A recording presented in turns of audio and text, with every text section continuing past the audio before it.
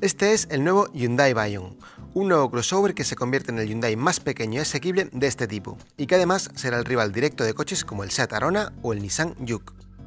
Para escoger tu próximo coche, visita quecochemecompro.com, el comparador de Diario Motor. Para entender al nuevo Hyundai Bayon, lo primero que debemos tener claro es que Hyundai desde ahora tendrá dos coches de tipo sub en el mercado de los urbanos. Hasta la fecha, el Hyundai Kona era el coche que defendía este planteamiento en solitario, pero la firma coreana ha decidido desdoblar su apuesta en pos de llegar a un mayor público y así conseguir más ventas. Esta idea no es nueva en su categoría, teniendo otros casos similares como el de Ford con los EcoSport y Puma militando en el mismo segmento. El resultado de esta estrategia por partida doble es el Hyundai Bayon, un coche que por proporciones, planteamiento y precio se sitúa justo por debajo del Kona, aunque en realidad podrían llegar incluso a solaparse dadas las mínimas diferencias que existen en cotas. Diseñado con la idea de ser un mini Hyundai Tucson a nivel estético, el Bayon tiene 4,18 metros de largo, lo que son apenas 2,5 centímetros menos que el Kona.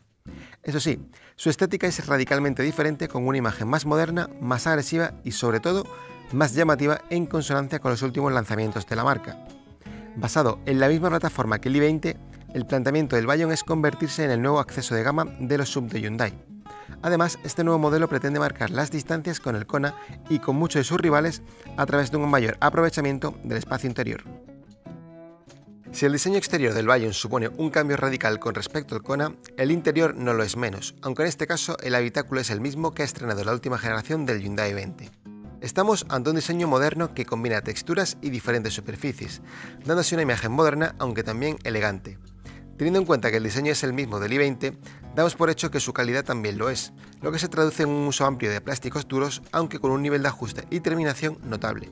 Es decir, una calidad que no será la mejor de su clase, pero que se situará por encima de la media. En lo referente a equipamiento, nos encontramos con un cuadro de instrumentos digital de 10,25 pulgadas acompañado por una interfaz multimedia con pantalla táctil de 8 o 10,25 pulgadas en función del acabado. Hablamos por lo tanto de uno de los puntos fuertes del Bayon, destacando en infoentretenimiento y añadiendo compatibilidad con Apple CarPlay y Android Auto, carga inalámbrica y posibilidad de conectarnos de forma remota a través de una app en nuestro teléfono móvil. Un punto que nos parece realmente positivo en el Bayon es el hecho de haber mantenido un módulo de control independiente para el climatizador, un detalle en ergonomía que evita distracciones durante la conducción y que no penaliza la experiencia multimedia. Si seguimos navegando por el habitáculo, nos toca hablar de la habitabilidad, y en este apartado es donde encontramos la gran razón de ser del Bayon. El objetivo de Hyundai al desarrollar este nuevo sub ha sido extraer el máximo de espacio interior en relación a su tamaño exterior, y aunque aún tendremos que analizarlo en persona, el Bayon promete unas plazas traseras espaciosas que destacarán por el espacio libre disponible para las piernas. Del mismo modo, el maletero es otra muestra clara de esta apuesta, encontrando un volumen de 411 litros, lo cual es un dato bastante bueno en su clase y supone un extra de 37 litros con respecto al Kona.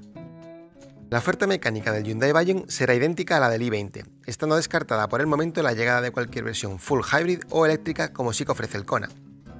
Todos los motores disponibles son gasolina, comenzando la gama con un propulsor 1.2 atmosférico de 84 caballos, continuando con un 1000 turbo de 100 caballos y terminando con el mismo 1000 turbo pero en versión de 120 caballos. Estos motores son sobradamente conocidos en las gamas de Hyundai y Kia, destacando el propulsor de 1 litro por la posibilidad de añadir tecnología microhíbrida de 48 voltios para reducir su consumo y obtener la etiqueta Eco. Si nos fijamos en la transmisión, el motor menos potente solo está disponible con un cambio manual de 5 relaciones. Por contra, los motores 1000 TGDI podrán combinarse con un cambio manual de 6 relaciones o uno automático de doble embrague con 7 velocidades, pudiendo además contar en ambos casos con el añadido del sistema microhíbrido. El Bayon, a diferencia del Kona, no podrá contar con tracción total.